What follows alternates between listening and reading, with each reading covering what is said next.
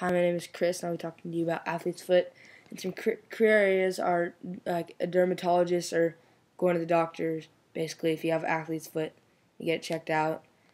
And uh, athlete's foot is a fung fungal infection of the skin of the foot. Most athlete's foot is caused by caused by one by fungus.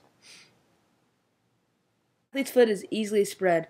You can get it easily in warm areas or like damp places like if you were to take it like in a public shower or even your own even in your own shower at your home.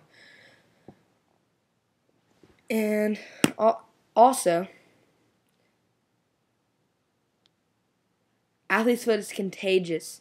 Some people some people are more likely to get it than others. Suspect suspectably may increase with age. Experts don't know why some people are more likely to get it after you've had athlete's foot, you're more likely to get it again. If you come in contact with a fungi that causes athlete's foot, you can spread the fungi to other whether you to others whether you get the infection or not. Thank you for watching, and um, not all this was done. Blake also helped as well, getting the information and all that stuff, but we just ran into some problems and we could not do it together.